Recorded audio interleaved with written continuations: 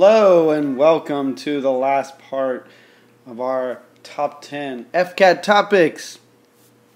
Since this is our last part, I'm going to reveal the last two clues of our puzzle. Like all, if you've been watching all the videos, you can fit these clues together. L is our second last clue. One more to go, and you'll be able to figure out the puzzle, possibly claim a prize. All right, and our second last topic is polygons and triangles.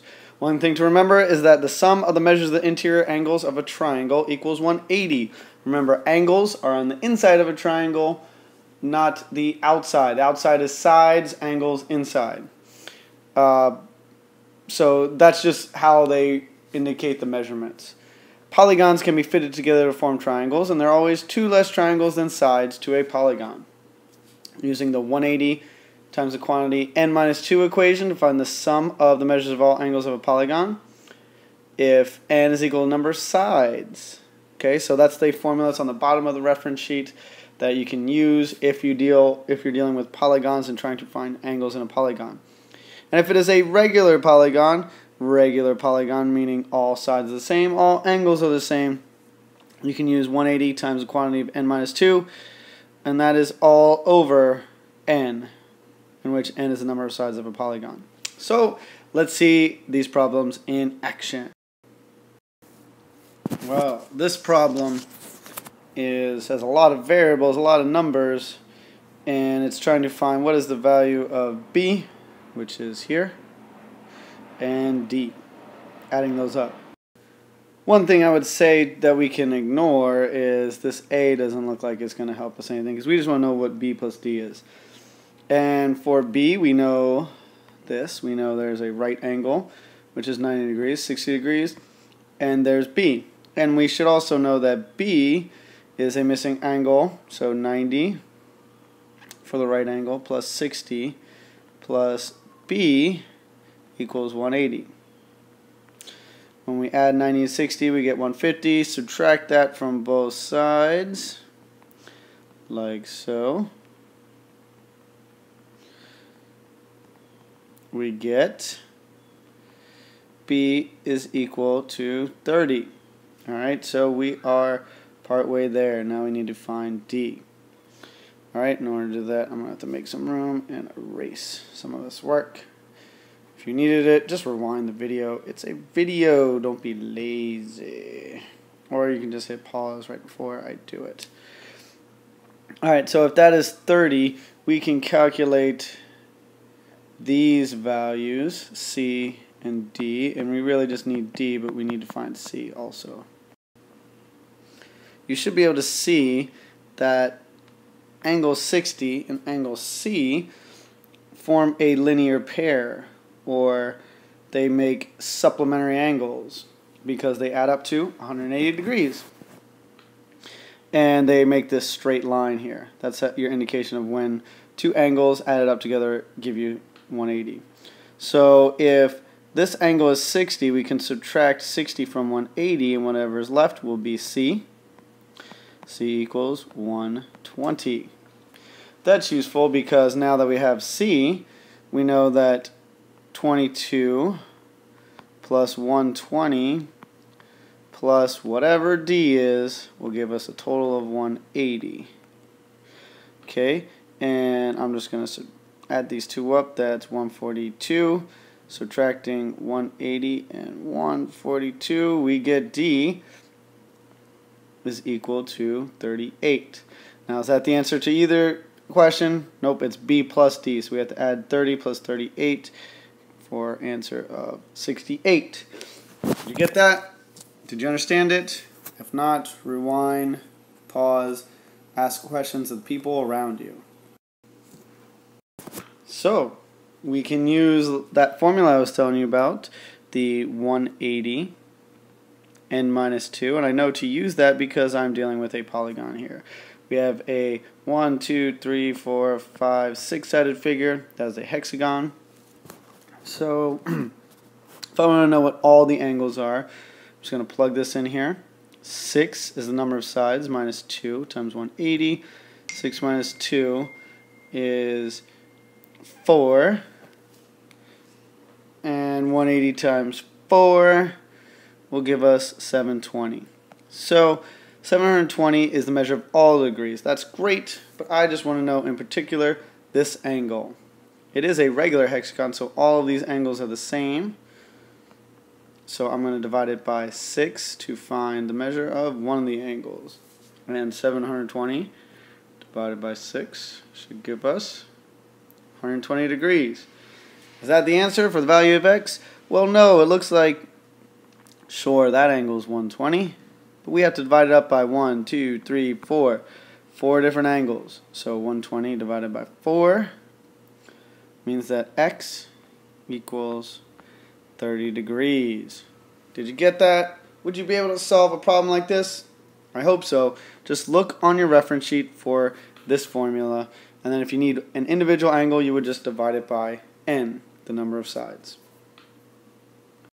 Alright, your turn. See if you can solve a problem like this. Yes, there are triangles. Yes, this could be a polygon. See if you can find the value of x. So, did you get this one right? Correct answer is B, 36 degrees. It was a doozy. Let me explain. We start with our 180 times n minus 2 to find what all the angles are. And there are 1, 2, 3, 4, 5 sides. So 5 minus 2 is 3 times 180 is 540. Then we just start subtracting out all of these angles, including the 90, and we get 78. Okay, so that's what's left here. We can figure out what this is because this is part of a triangle. And if you so triangles add up to 180 degrees, subtract out 90, subtract out 48, you get 42. So we don't need to know this part, we need to know the difference. So 78 minus 42 is how we get our 36. Did you get it right? If you did, wow.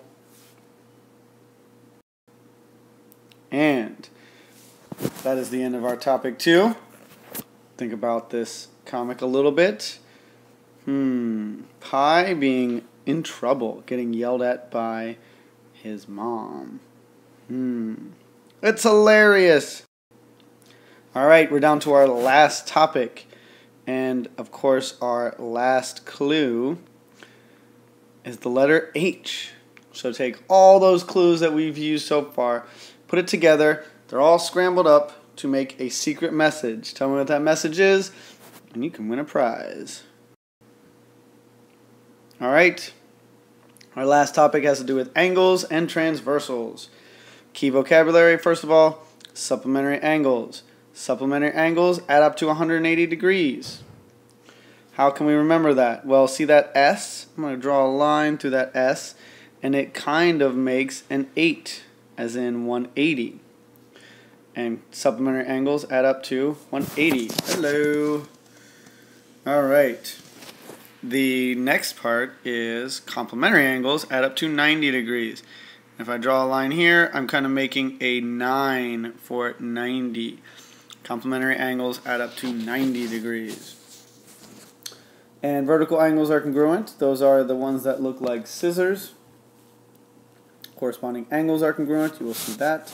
And if parallel lines are cut by a transversal, transversal cuts through them, the measures of the angles are either going to be congruent or supplementary to it. Supplementary, of course, just means they add up to 180. So we have to either subtract from 180 or see if your angle is congruent. They're really very easy, but um, just you only have a couple guesses. So know when to subtract or just make it equal. Here's a perfect example. Diagram of a fence is shown below. The vertical slats of the gate are parallel and they are being cut by this transversal. What is the measure of angle 1 in degrees? Well, we know that this is 125 degrees.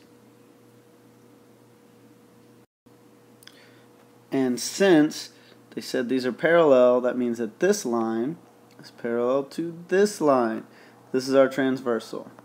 Alright, if this angle, 125, right here is 125, then this angle will also be 125 because they are what are called corresponding angles. looking at our drawing, here's our here's our transversal. This angle is above the transversal.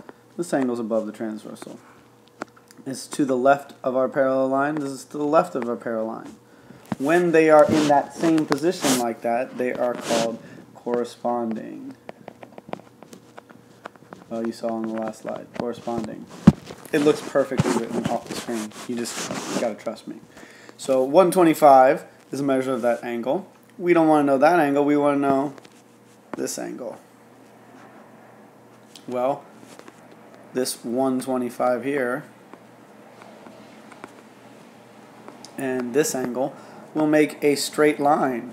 And because that make a straight line, they are supplementary. And supplementary angles add up to 180.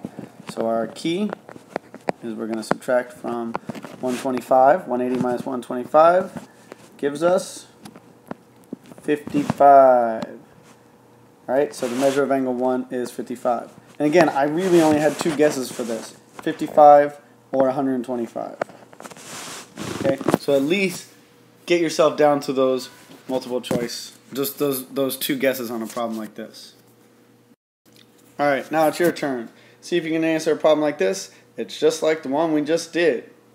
All right, hit pause.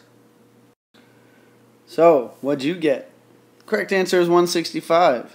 That's because we have two parallel lines cut by this transversal. If this angle is 15 degrees, the angle we make here, because it makes a linear pair or they are supplementary, is 180 minus 15 degrees, which is 165. Now this angle is going to go into that angle because they are corresponding. They're both below the parallel line and to the right of the transversal. So correct answer, 165 degrees. Woohoo! Did you get it? Alright, now this problem involves perpendicular lines. Perpendicular lines mean they intersect at right angles. So these are the angles formed. What is the measure of angle 2? Alright. Uh, in order to answer this, we need to know about what are called vertical angles. So they're like scissors. So picture these are like the handles of the scissors. And these are the blades. And when you open scissors really wide, the blades open really wide. So this angle is going to be the same as number 1, which is 24. We're trying to find angle 2. And we know that since this is a right angle, this must also be a right angle, which means that they add up to 90. So if I want to find ang angle 2 here, I'm going to subtract whatever we know from 90. So 90 minus 24 is going to give us